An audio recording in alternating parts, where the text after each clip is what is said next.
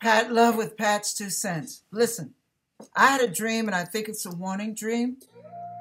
And I believe I'm supposed to share this, so I hope that you pay attention. Listen,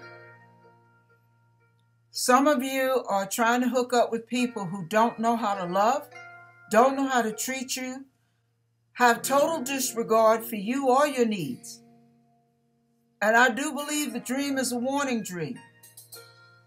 In this dream, and you can apply it male or female, if you have a significant other that you are trying to really make the other half of you, you better back up and think twice. Listen, watch what they do, watch what they don't do. I don't care how sweetly they apologize. You watch this. Lord, please anoint and open ears and eyes of understanding.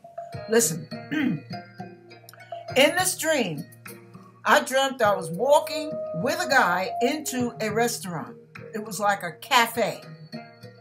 They had countertops around the first entranceway, and around the countertops were tables and chairs and booths for people to sit in.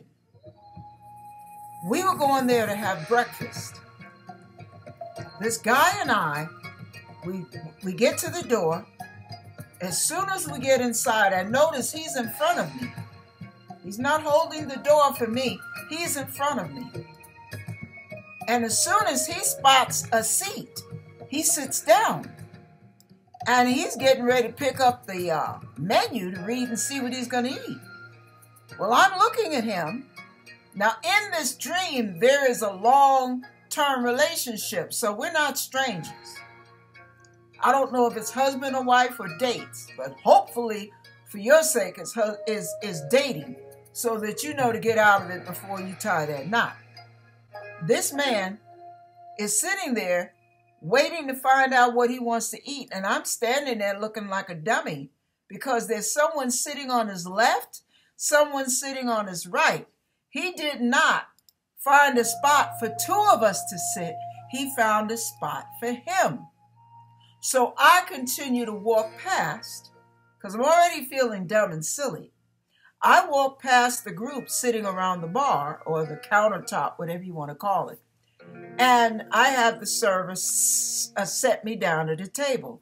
Well, now I'm sitting there by myself, waiting for my meal. Well, see, I don't have a problem eating by myself. I do everything by myself. I like my company. I'm good. But in the dream, I could tell I was someone else and I didn't feel comfortable. So I'm sitting there feeling silly and stupid. Then it was like he came up out of his world and realized, oh, I'm here with somebody. Oh, that's right. And he gets up and he comes around to apologize. So he sits and he holds my hand and he's he's really apologetic and I didn't mean to. I'm so used to doing stuff by myself. Oh, please forgive me. Oh, that was so thoughtless of me, blah blah blah. I'm like, you know, let's just order the food. So it, I noticed that this guy was so caught up in me, myself, and I, so to speak. He was so caught up in himself. Self was his glory, self was his focus, self was everything to him. And anybody on the outskirts of that was just barely uh, uh, window dressing. It wasn't anything that important. And that's when I realized in the dream I had no importance in his eyes. I just happened to be along for the ride. Well, this was all about him. So he's getting ready to order and he's ordering what he wants. And he's not even waiting to see what I want or if I need anything. It's just, it's all about him. And I'm sitting there like, why did I even bother coming? Think about it. Now, I don't know if any of you have that feeling. Why did I come? Why are they even bothering with me? They act like I'm not around when we're together. Think about those things that you think about, uh, the things that you feel. You almost feel abandoned when you're right there in their presence. You feel left alone, forgotten, the whole nine yards. Well, there's a reason for that. Because you're dealing probably with a person with serious narcissistic tendencies. They are self absorbed, they worship self, they're self centered, they're thoughtless, they're selfish. Everything's about self. Hmm, think about that. So, my question to you is wouldn't you have a better time if you were by yourself than trying to squeeze into this person's self made world? That really does not include you or your needs.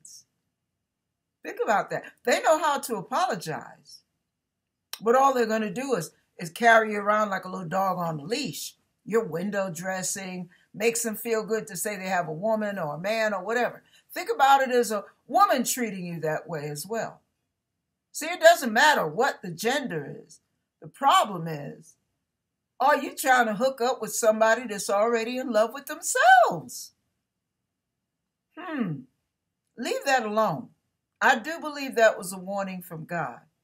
Many people settle for self centered, selfish, narcissistic, egocentric, thoughtless, selfish, all about me type people. And if you don't fit into their agenda, they really don't have time for you and your insignificance. don't you have something to do? Don't you have something to go? Are you still here? Yeah. Don't be a burden to somebody else in a relationship. Go find a healthy relationship. One we, the two of you are a delight to be around each other, not a burden. Yeah. Think about that. And if you're in that, baby, you better ask God to show you a way out with the least amount of drama possible. That's your warning. Ding! This is Pat's Two Cents reminding you that God's into love.